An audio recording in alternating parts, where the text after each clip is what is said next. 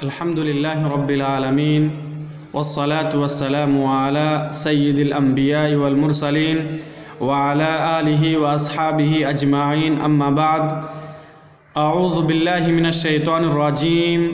بسم الله الرحمن الرحيم. فأتاهم الله ثواب الدنيا وحسن ثواب الآخرة والله يحب المحسنين.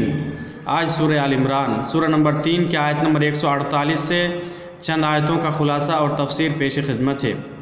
یہ جو آیت کریمہ ہے، اس کا تعلق پہلے سے ہے۔ پہلے، اس سے پہلے میں نے بتایا تھا کہ اللہ رب العالمین نے کہا کہ اس سے پہلے بھی بہت سارے انبیاء اکرام آئے، ان لوگوں نے بھی اللہ رب العالمین کے راستے میں جہاد کیے۔ اسی طریقے سے نبیوں کے ساتھ بہت سارے اللہ والے، بہت سارے ایمان والوں نے بھی اللہ رب العالمین کے لیے جنگ کیے۔ پھر اللہ نے کہا تھا کہ ان لوگوں کے اوپر مصیبتیں آئی لما اصابهم في سبيل الله وما ضعفوا وما استكانوا والله يحب الصابرين. ان لوگوں کے اوپر مصیبتیں آئی تھی، ان لوگوں کے اوپر پریشانیاں آئی تھی آزمائش آئی تھی، لیکن وہ لوگ بزدل نہیں ہوئے۔ وہ لوگ کمزور نہیں ہوئے۔ ان لوگوں نے صبر و استقامت کے ساتھ کام لیا۔ تو اللہ رب العالمین صبر کرنے والوں کے ساتھ ہے اس آیت کریمہ کے اندر اللہ رب العالمین نے بتایا فَآتَاهُمُ اللَّهُ فَآتَاهُمُ اللَّهُ ثَوَابَ اللہ نے کہا تو ہم لوگوں نے انہیں دنیا کے اندر بھی ثواب عطا کیا، دنیا کے اندر بھی دیا۔ اسی طریقے سے وحسن ثواب الآخرہ اسی طریقے سے آخرت کے اندر تو بہترین بدلہ ہے یہ ہے ان لوگوں کے لیے۔ واللہ یحب المحسنین۔ اور اللہ رب العالمین نیک لوگوں سے محبت کرتا ہے، نیک لوگوں کو پسند کرتا ہے۔ اس کے بعد آیت نمبر ایک سو پچاس ہے، یا ایوہ الذین آمنوا یوں تطیعوا الذین کفروا یردوکم علی آقابکم فتنقلبوا خاسرین۔ اللہ رب العالمین نے کہا کہ ایمان والو، اگر تم ان لوگوں کی اطاعت کرو گے جن لوگوں نے کفر کیا، اگر تم کافروں کی بات مانو گے یردوکم علی آقابکم، تو یہ لوگ تمہیں اپنی ایڑیوں کے بل پلٹا دیں گے یعنی مرتد بنا دیں گے۔ فتح قلیب و خاصرین اور تم ذلیل و رسوا ہو کر لوٹ جاؤ گے، تم کو لوٹنا پڑے گا۔ اللہ رب العالمین نے عیسائیت کریمہ کے اندر ایمان والوں کو متنبع کیا، ہوشیار کیا کہ کبھی بھی کافروں کی بات نہ ماننا۔ پہلی بات اب دیکھیے اس سے پہلے بھی ضمن بات ہوئی تھی کہ جنگ عہد کے اندر مسلمانوں کی تعداد کتنی تھی شروع میں؟ ایک ہزار تعداد میں مسلمان تھے۔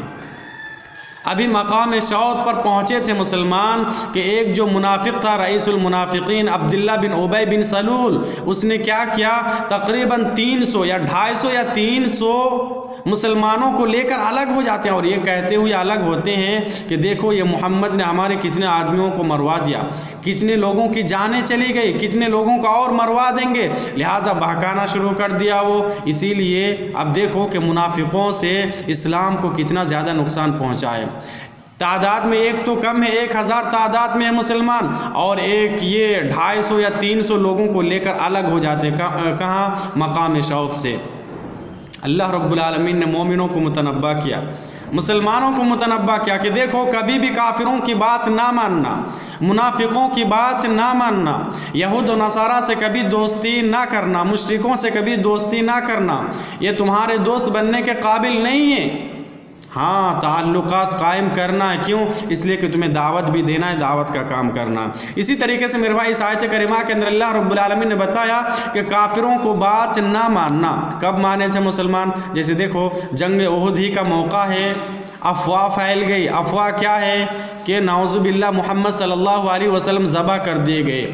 محمد صلی اللہ علیہ وسلم کو نعوذ باللہ شہید کر دیے گئے۔ یہ افواہ پھیل گئی اور جیسے ہی افواہ پھیلی اس سے پہلے بات ہوئی تھی کہ سارے مسلمان بڑے بڑے بہادر صحابہ اکرام بھی ہتھیار ڈال چکے تھے۔ اب کیا کریں؟ کس کے لیے ہم اپنی جانوں کو قربان کریں؟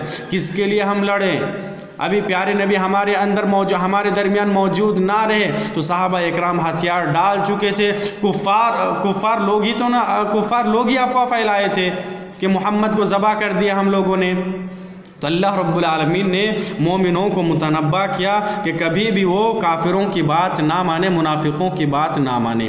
پھر آگے آئے تھے، بل اللہ مولاکم وہو خیر الناصرین وہی تمہارا مولا ہے، کون؟ اللہ رب العالمین۔ اللہ ہی تمہارا کارساز ہے، اللہ ہی تمہارا مولا ہے، مدد کرنے والا ہے۔ وہ ہوا خیر الناصرین اور اللہ رب العالمین کیا ہی بہترین مددگار ہے۔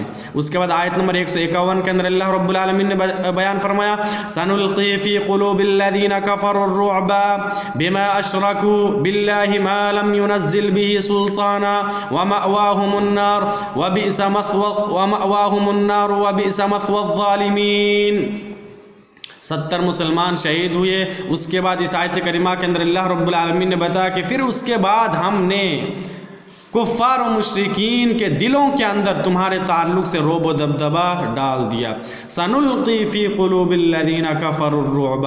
ان قریب ہم ان لوگوں کے دلوں کے اندر، جن لوگوں نے کفر کیا، کفار و مشرقین کے دلوں کے اندر روب و دبدبا ڈال دیں گے۔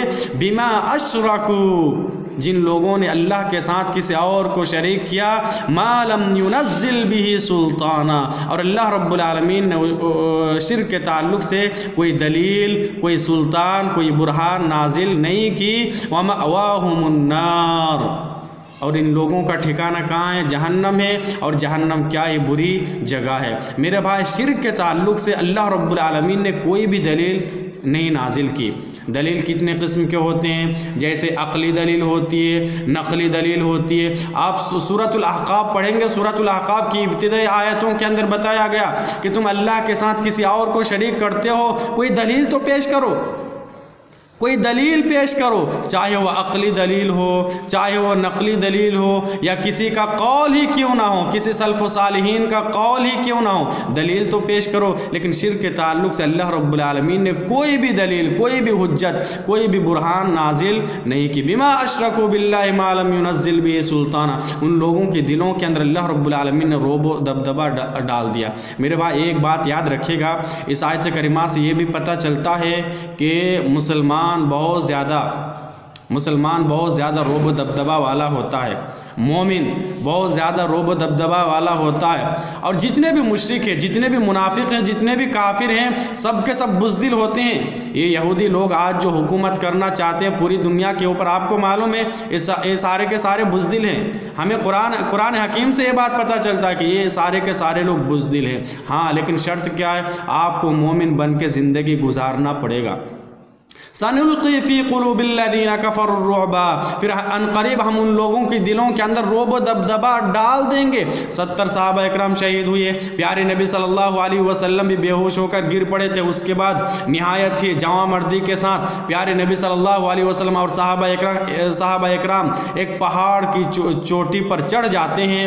پھر صحابہ اکرام مقابلہ بھی کرتے ہیں دشمنوں سے، اس کے بعد مقابلہ کرتے ہیں اور ایک وقت وہ بھی آیا کہ سارے دشمن چھوڑ کے چلے بھی گئے۔ سارے دشمن بھاگ گئے اوہد کے میدان سے سارے دشمن بھاگ گئے۔ اس کے بعد کیا ہوا معلوم ہے؟ ستر آدمیوں کو، حالانکہ سارے صحابہ بھی زخمی تھے، بہت سارے صحابہ زخمی تھے، پھر بھی ستر صحابہ اکرام کو پیارے نبی صلی اللہ علیہ وسلم نے منتخب کیا اور کہا کہ ان لوگوں کا تعاقب کرو، دیکھو کہ یہ لوگ کہاں جاتے کہیں ایسا تو نہیں ہوگا کہ یہ لوگ دوبارہ پھر سے ہمارے اوپر حملہ کرے یا پھر ہم لوگ مدینہ کے باہر مدینہ کے باہر مقابلہ کر رہے ہیں۔ کہیں ایسا نہ ہو کہ یہ لوگ جا کے مدینہ کے اندر گھس جائے۔ اس کے بعد وہاں جا کے ہماری عورتوں کو نقصان پہنچائیں ہمارے بچوں کو نقصان پہنچائے پچاس، ستر آدمیوں کو پیارے نبی صلی اللہ علیہ وسلم نے بھیجا۔ مدینہ کے آٹھ میل کے دوری پر ایک علاقہ ہے، جس کو ہمراء الاسد کہا جاتا ہے۔ ہمراء الاسد پیارے نبی صلی اللہ علیہ وسلم نے وہاں تک ستر آدمیوں کو بھیجا۔ وہاں تک تعاقب کرنے کے لیے بھیجے پیارے نبی صلی اللہ علیہ وسلم۔ اور صحابہ اکرام گئے بھی، یہ روب دبدبا اللہ رب العالمین نے ان لوگوں کے دلوں کے اندر کفار و مشرقین کے دلوں کے اندر ڈال دیے تھے۔ اسی طریقے سے معبد خزائی۔ معبد خزائی یہ کون ہے؟ خزائی قبیلہ ہے اس قبیلے کا سردار ہے معبد۔ مسلمانوں کے حلیف تھے۔ سب سے پہلے وہ پیارے نبی صلی اللہ علیہ وسلم کے پاس آتے ہیں، حال چال دریافت کرتے ہیں۔ اس کے بعد ان لوگوں کو بھی بہت زیادہ غم ہوتا ہے، اس لیے کہ ستر صحابہ اکرم شہید ہو چکے ہیں۔ تو وہ لوگ کہتے ہیں کہ ہم لوگ بھی دیکھتے ہیں کہ اب ابو سفیان کہاں جا رہا؟ ابو سفیان ابھی تک مسلمان نہیں ہوئے تھے اور اسی کی کمانڈنگ میں یہ جنگ ہو رہی تھی۔ ابو سفیان کہاں جاتا؟ بہرحال یہ معبد خزائی جا کے ابو سفیان سے ملاقات بھی کرتے ہیں۔ ملاقات کرنے کے بعد ابو سفیان کیا بولتے ہیں معلوم ہے؟ اس وقت بولتے ہیں کہ ہمارا جو مقصد تھا، وہ مقصد میں تو ہم کامیابی نہیں ہوئے۔ ان لوگوں کا مقصد کیا تھا؟ ان لوگوں کا مقصد یہ تھا کہ کسی طریقے سے پیارے نبی کا کام تمام کر دیا جائے۔ پیارے نبی کا کام تمام کر دیا جائے۔ چنانچہ معبد خزائی جواب دیتے ہیں کہ دیکھو، تم لوگ دوبارہ پلٹ کر نہ جانا، حملہ نہ کرنا محمد اور ان کے ساتھیوں کے اوپر۔ اس لیے کہ وہ لوگ ابھی بہت زیادہ تیاری کر چکے اور تمہارے تعقب تعقب کے لیے وہ لوگ نکل چکے تھے۔ چنانچہ ابو سفیان کہتے ہیں کہ ہم لوگوں کے دلوں کے اندر روب روب و دبدبہ پڑ گیا۔ اس کے بعد ہم لوگ واپس بھی آ گئے اور دوبارہ حملہ نہیں کیے۔ باقی باتیں ہم کل کریں گے۔ اللہ رب العالمین سے دعا ہے کہ ہمیں عمل صالح کی توفیق عطا فرمائیں آمین تقبل یا رب العالمین